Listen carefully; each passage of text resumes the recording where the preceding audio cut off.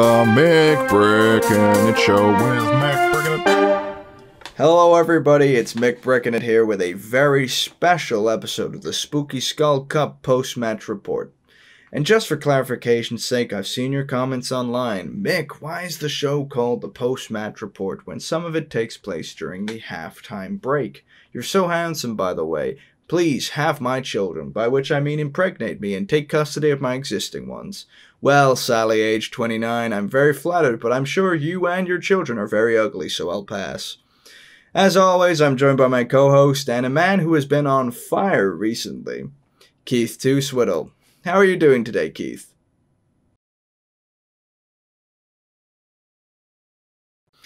That's great, Keith. And uh, if you don't mind me saying, you're looking extremely sharp this afternoon.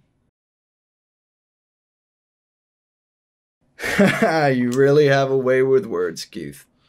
Today's game is probably our most anticipated game, just behind the grand final. The Underground Half Pints versus Les Beaux Bastards. Stunty on Stunty, Troll on Tree. Two mighty titans fighting for their spot in the league. A win for either team spells disaster for the other and their chances of getting into the final. It certainly has been an interesting half so far, with bombs and players flying all over the pitch. I believe we have a brief interview with a member of the crowd who was almost hit by a flung fungi. Well, I'm sure he's fine, but if not, I'm sure his ugly widow will be pleased to be free. Call me. It seems the Snotlings have really buttered up their hands for this game today, as they absolutely cannot seem to grab the ball. Keith, you know a thing or two about slippery situations and butter. Remember Mexico? Oh, yes, Mick. I remember it vividly. I was completely at fault for everything that happened down there, and this is admissible in court, as I swore in a Bible before this episode began. Keith say the darndest things, don't they? The half concludes with a 1 0 lead for the Halflings after a cumbersome touchdown by Alfred Roadblock, the heftiest of all the Halflings. And I don't think it's big headed of me to say that I think I could take that little bastard in a fight. I was voted most likely to win a fight against a smaller and weaker opponent at my college. Tune in after the break as Keith and I will report on the second half of this stellar match. And in the meantime, I believe we have an interview with both of the coaches of both teams. Stay tuned.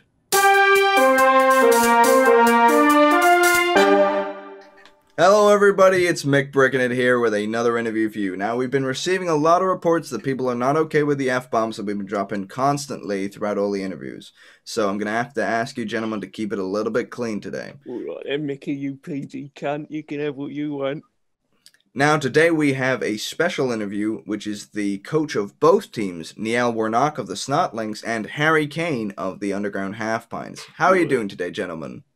We're bloody flying! We won nil in. We hadn't even done our drive yet. Thanks for that, Neil. Can't believe I'm talking to this fucking southern piss baby and this dead wife fucker. Well, at least Sandra, I think there's still a little bit of breath in her lungs. It was still legal, probably. Oh, I bet the whole fucking house on this, and I'm losing to these lot. Bloody life savings. I'm going to be swimming in it. Danny's going to even love it. He wasn't even on the pitch, and he's going to be rolling in the money. I swear to God, I will. I will incinerate Danny's cat if you mention him one more fucking time, lad. You can do whatever you want for him. Ainsley's going to have him in a soup next week anyway. I don't bloody care. Oh, uh, yeah. Oh, yeah, yeah. Cool, cool. Sorry, um, we're just we're trying to mitigate your fucking chef bad-endness, if you will, by uh, cooking up some stuff from our own, from our French origins. Sorry. I hope they're bloody patented. Yeah, we've got some um, mushroom shoe pastry bites that the uh, our fungus flinger is uh, bringing. I was actually bringing just what the fuck is that? What is that? It's in a boot. Shoe is French. It starts with a ch. Put it back now. Yes, and take the soul out. Fucking Christ. Surrounded by fucking idiots. Don't forget the donkey shit, you little green bastard. You'll bring out the shoe in it. Now, gentlemen, please keep it clean. We are live on the air. Now, it's been quite the half so far. The as it stands, the halflings will be going into the league final. How do you feel about that? Uh, just first of all, Mickey, are you uh, you gonna have that lamb for for your own purposes, or could I perhaps acquire one for some certain activity? That is my sister. Ah, well, better yet then. Sit her on me. No, no, sit her on me. We need a condolence. No, put her on me. I've got a stronger one. I'll be bigger to her. We'll be the right size, we will. I've got cushions on me pelvis. She'll be great for me to sit on. Well, I've got bloody velvet fast that my mother gave me. She'll be slipping her hair like a bloody banana. You slippy five dandy shite. Not a cocking chance will I not swear when there's a fucking halfling in the room. Not a cocking chance I won't have a cocking good time on that bloody sister of yours, Mickey. Send her damn my way. With all due respect, gentlemen, I would appreciate if you stopped objectifying my sister. That's my job. I Now- tell you what, I've had an idea. She's got an orifice, right? A double orifice. We go, right, Neil, Neil will take it from I'm going to cut you off right there, Mr. Kane, because that is just absolutely vile, and I don't even want to know where you're going with that. But I'm Mick, sure Mick, it was- it's called it's called Eiffel Towering, right? I am aware of the, the name of the process. I do not need to. No It's- one on the show needs to hear it out loud. It's elegantly cultural, Mick. That's it. I used to do that with the hobgoblin down the end of the street, Eiffel Towering. Yeah, she loved that shit. I did get chlamydia from her, though, so we don't speak anymore. I mean, it's just part of the course, isn't it? We've Needs all must. been there. Needs must. It still burns. Still burns. You should definitely see a doctor. It shouldn't still burn. It, it's very curable. I'll have you know that I have been to one doctor and he said it was terminal. Gentlemen, I can't believe I'm going to say this, but the camaraderie I'm seeing between you about fucking my sister is not very pleasant to me. I'm more interested in talking about the game in which you are both managing teams for. Can we please discuss the game? All right, the game. Well, well, we've probably lost. We can't pick up the ball, but we probably will pick up your sister. We'll just need to, um, you know, think about how we're going to throw our teammate into the end zone potentially, like, um, like a pitch at your, your sister's pants. Don't be silly, Neil. No throw against the pitch is going to be as easy as one against his sister's pants, all right? There's no bloody way. We've got one nil. We're having the ball. Nothing short of a frigging, I don't know, a thunderstorm or a, or a bloody lightning or losing a tree, man, will set us away from winning that bloody final. You're fucked, Neil. You're fucked. You know what? I may be fucked, but at least I enjoyed it. I wasn't bottom. Oh, you will enjoy it, boy. You bloody will enjoy it. Slapping my cockney halfling penis up your rectum like a bloody feather duster at you, man. Well, as long as you bring the gorilla glue and that nurse outfit, we'll be right as rain. Oh, you're speaking my language, Neil. You're speaking my language. I'll show you my chutney tunnel as well. Your, your chutney shovel. Your, You know, gentlemen, this has been a time. Uh, and I honestly did not expect to see such camaraderie from two combatants in the league. Yeah, you know, it's been um, it's been fantastic. Um, us little guys have got to stick together, you know, and uh, I think that even though these snotlings love a bit of food and love to steal and uh, generally miserable cretins, that uh, you know us stunties have got to stick together through a thick and thin, uh, long and small, chaos warrior and Amazonian blitzer. You know what, Neil? I echo that. I really do. I, uh, you know, we may get a little green under the gills that we're not actually green under the gills, but uh, at the end of the day, I will stick together with you because we're the little guys, you know. Little guys have got to keep together. And uh, with a bit of luck, I'm going to triumph for you. I will. I'll make it to this final. And uh, for you, little man, I will. I will. I will. Barring any exciting incidents, Yeah, I mean, what could happen? What could happen? it's it's been perfectly clear all day, and like Is that rain? Do I see rain?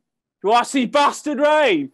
Oh, we've got the tallest players on the pitch. They're going to light up like a bloody Eiffel Tower.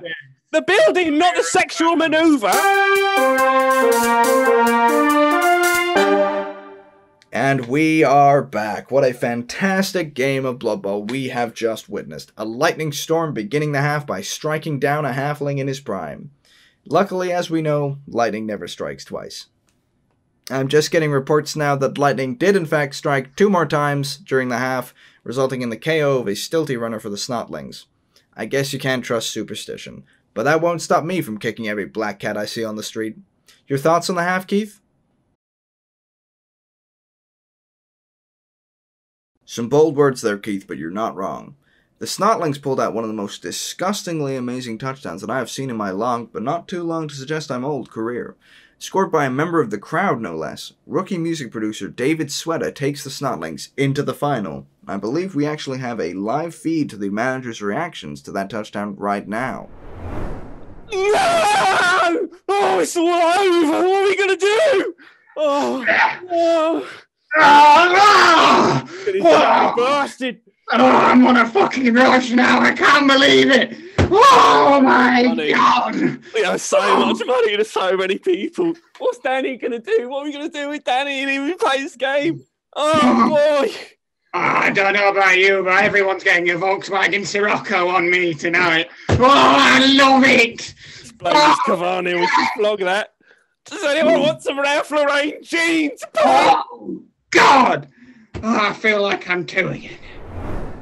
And with that one all draw, the Halflings are out of this league. A sad day for those who supported them, and an even sadder day for Mr. Harry Kane, their manager, who reportedly disappeared rapidly from the stadium once the final whistle was blown, with a fearful look in his eye.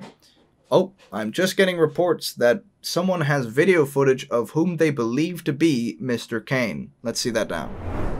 So yeah, basically it's uh it's a 2000 model. Pedals are pretty solid. Little bit of brakes on it. You know, it's got... what's that noise? Oi, what are you doing in my dog bin? Don't worry me, I'm just a passing traveller. What? You look like Harry Kane, you do, mate. Not Harry Kane, but if I was, I might know a certain Ainsley Harriott's quite a lot of money.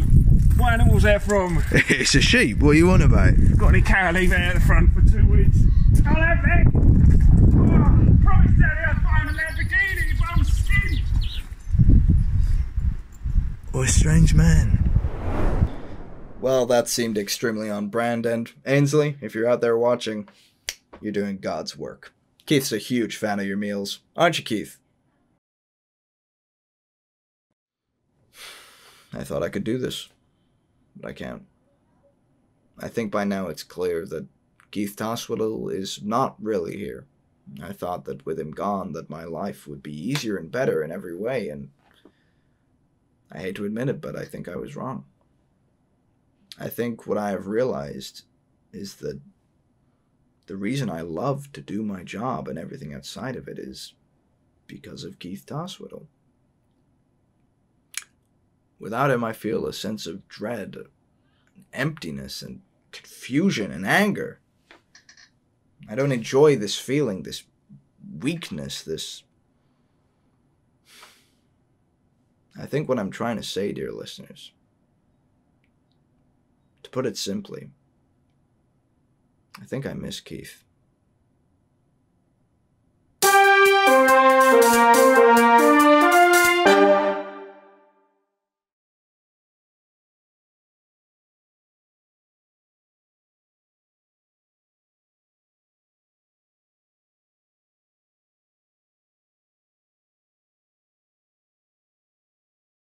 We do not need to speak to praise each other.